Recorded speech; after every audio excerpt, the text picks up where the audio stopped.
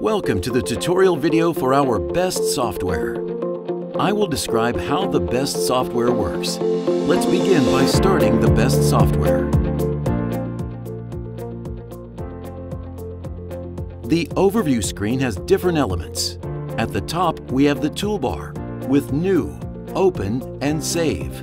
Settings is for changing settings, such as the language, and Connect is used for connecting to a device.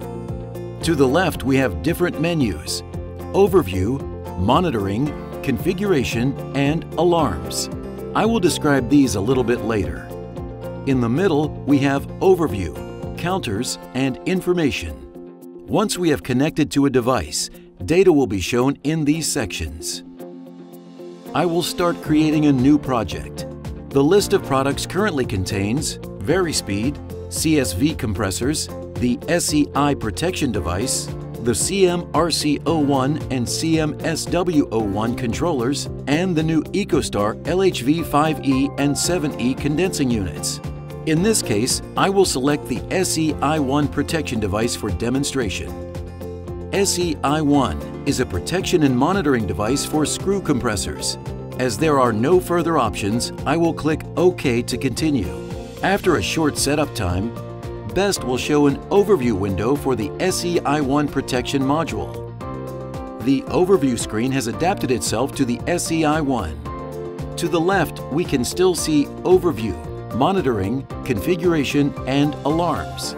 In the toolbar, there are now two new buttons, Get Data Log and Update Firmware.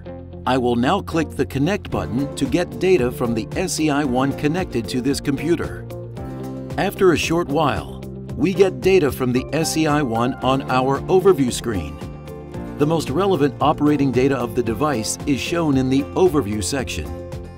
In Information Encounters, we find information like serial numbers, as well as the operating hours of the compressor and device.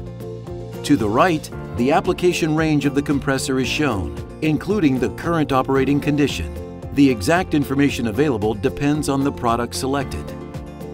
By double-clicking on the Application Range window, it is possible to enlarge it as well as to go back to the normal view.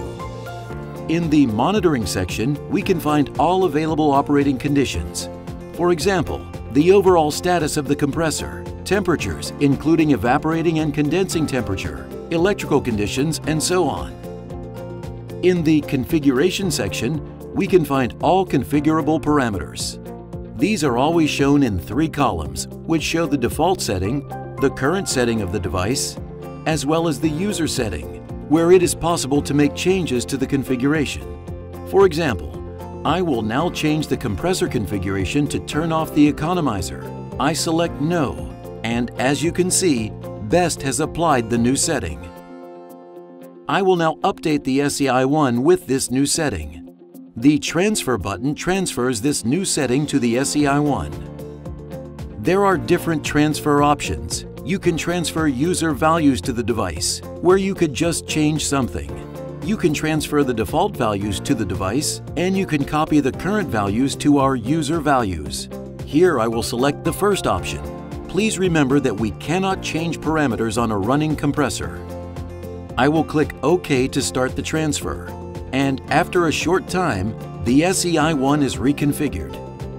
We can now see that the SE-i1 has been reconfigured to turn off the economizer. Next, I want to see if any alarms have been recorded by the SE-i1. I can see that a previous alarm has been recorded by a discharge temperature sensor, but it's no longer active.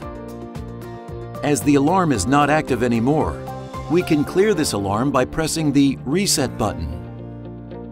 By clicking on the Get Data Log button, we receive an older analysis from the SE-i1. To save it, BEST suggests a default file name and I will keep this default file name. As the data log may contain a lot of data, it can take a while to get the data log from the SE-i1. Back on the Overview window, we can see that everything is normal.